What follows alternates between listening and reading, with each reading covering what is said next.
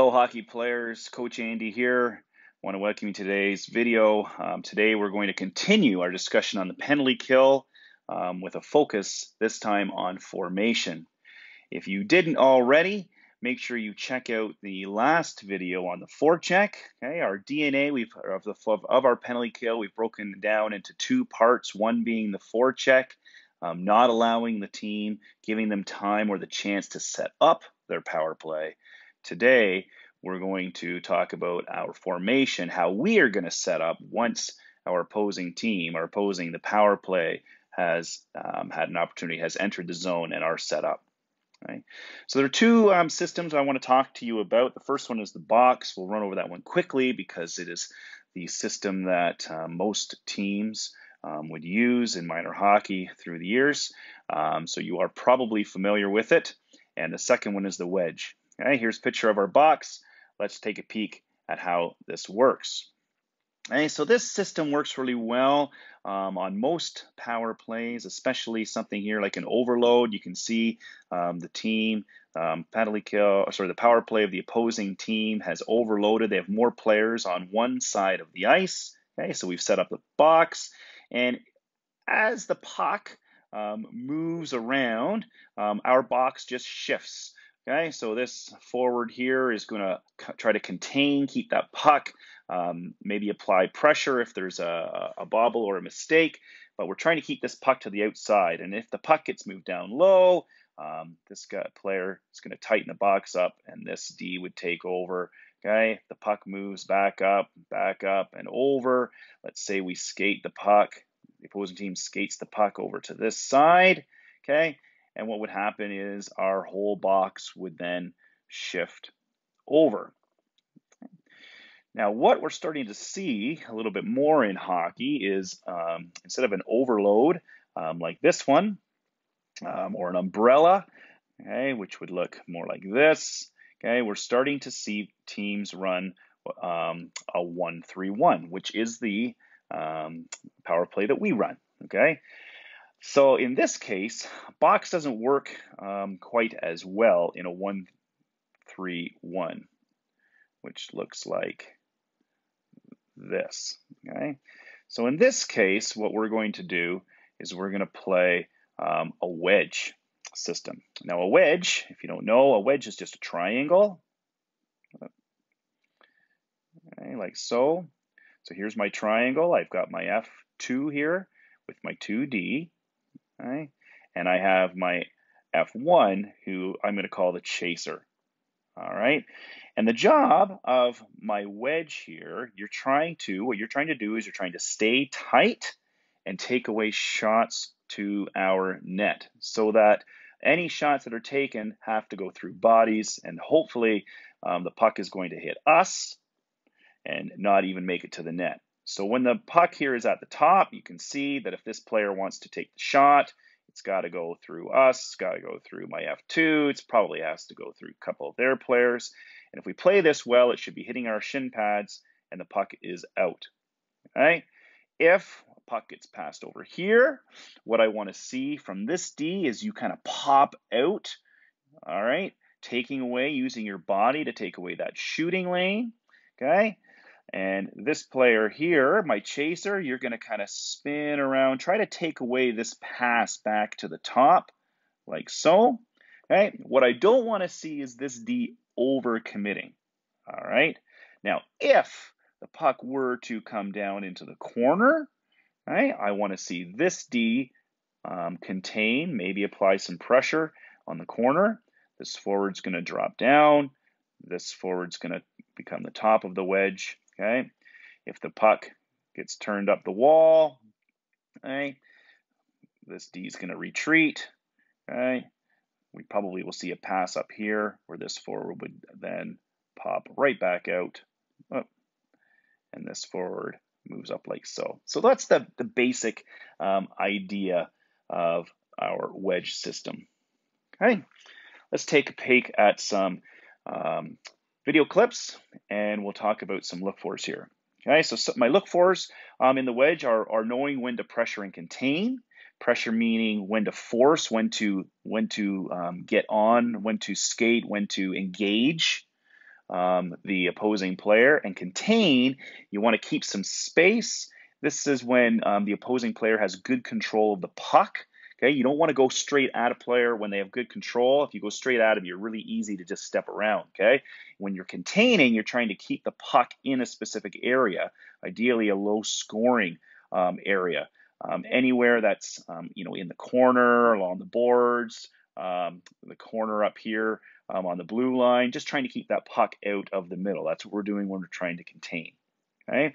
As we're watching these clips, let's look for um, good body position. Body should be in shooting lanes. Okay, puck should have to um, should be hitting shin pads um, or pants.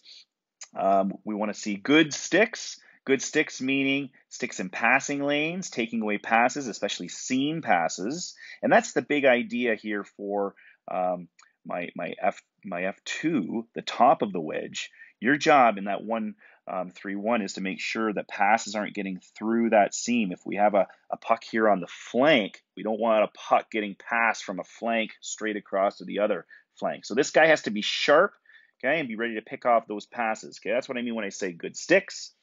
And the big thing for any um, power penalty kill system is when we're clearing pucks, we want to make sure that we are avoiding backhands um, most of the time. Okay, backhands, especially um, for younger players, just aren't strong enough to, to clear that puck. All right, so we want to make sure we're getting pucks on forehands. Now, if you do find yourself on your backhand um, and you're on the boards, um, don't be afraid to just keep it on the boards. Um, wait for some support. You're killing time off the clock. Maybe you can put the puck in an area of the ice that we can get to first. Okay, so if a puck was on um, the wall over here at the half wall, um, and you're on your backhand, maybe you could put it to the corner where your D could get to the puck first, and he could pick that up on his forehand. Okay, so no backhand clears. Um, this is a really good um, setup here, good example of the wedge that we see um, right now from um, the OHL um, London Knights. are playing against the Kitchener Rangers here. Um, we see we have our chaser up top. Okay, good stick. We see the wedge. Let's watch how this plays out.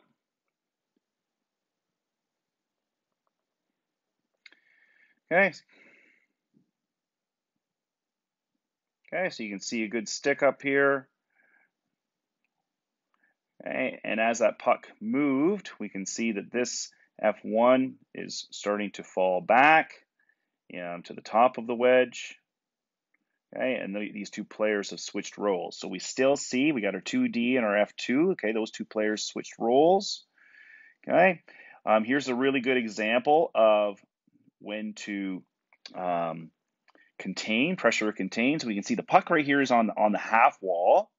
Right? We've got this D is ready to activate. He sees that the pass here, it's a bad pass. I don't know if you notice, okay, this number 17 for Kitchener.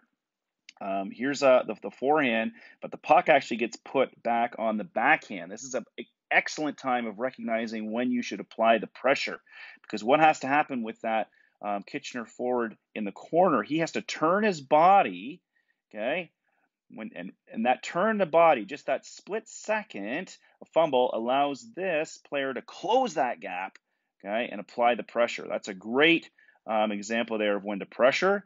If that pass had have been on the forehand, okay, this player would have probably had good control of the puck, and in that case, this player wouldn't have applied pressure.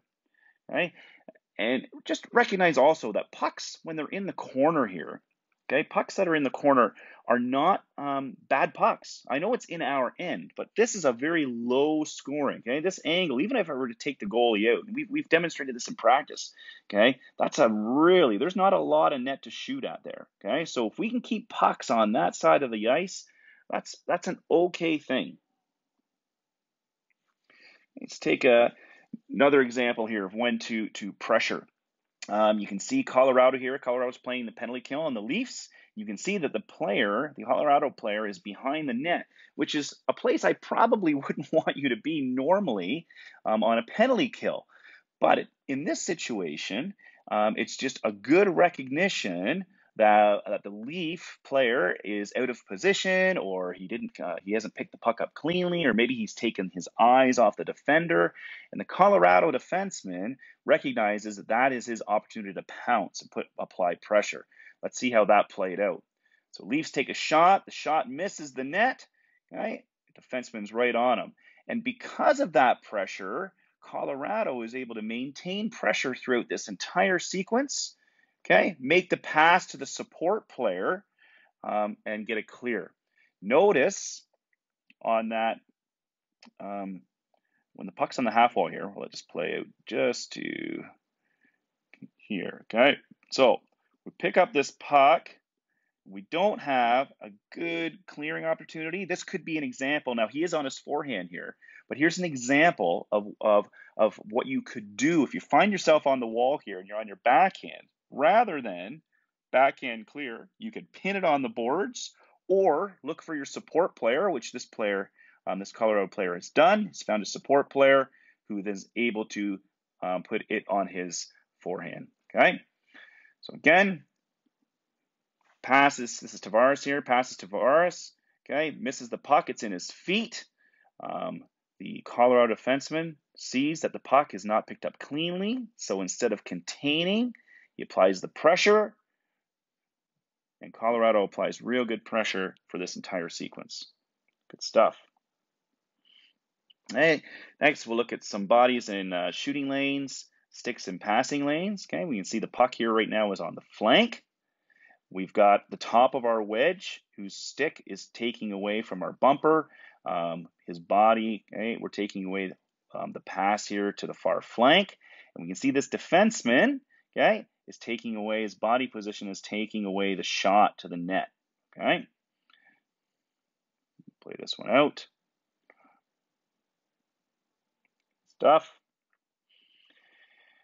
And um, last clip here is just from the um, OHL Knights. Again, we see our wedge. We see the players taking away um, that, the passing lane here. Um, so that this puck, it has to go through two sticks to get to this opposite flank, which shouldn't happen. Okay? So big ideas, knowing when to pressure contain, um, bodies in shooting lanes, sticks in passing lanes, no backhand clears. If you guys have questions, Make sure you reach out. See you at practice.